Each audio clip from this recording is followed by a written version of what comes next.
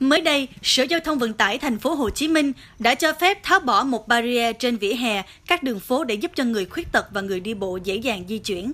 Tuy nhiên, lợi dụng việc tháo bỏ một barrier, người đi xe máy lại leo lên vỉa hè và phóng thoải mái, bất chấp quy định của cơ quan nhà nước và tính mạng của người đi bộ trên vỉa hè.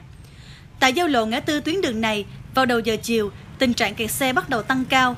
Nhiều xe gắn máy, xe chở hàng cồng kềnh, thậm chí cả xe xích lô ngang nhiên lao lên vỉa hè nhằm tránh kẹt xe dưới lòng đường.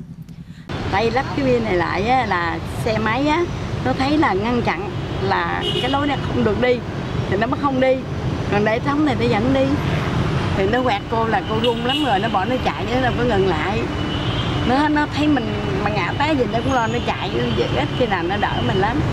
Cho nên là cái lối đi bộ mình dành đi bộ thì làm sao mà để đúng luật thì nó hay hơn Được biết, khu quản lý giao thông đô thị số 1 vẫn tạm thời giữ nguyên hình thức sử dụng barrier một thanh này để chừa lối bên trong dành cho người khuyết tật và khách đi bộ qua lại. Tuy nhiên, còn việc thống nhất cách thức lắp barrier theo mẫu mới như thế nào cho phù hợp với người khuyết tật, người đi bộ cũng như ngăn các phương tiện leo lên vỉa hè thì phải chờ kết quả từ Sở Giao thông Vận tải thành phố Hồ Chí Minh.